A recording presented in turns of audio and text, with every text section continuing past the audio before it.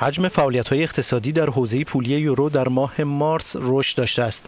شاخص مؤسسه مالی مارکیت نشان می‌دهد در این زمان میزان سفارشات در این منطقه به رقم 54 و یک دهم واحد رسیده که در بالاترین حد خود از سال 2011 قرار دارد.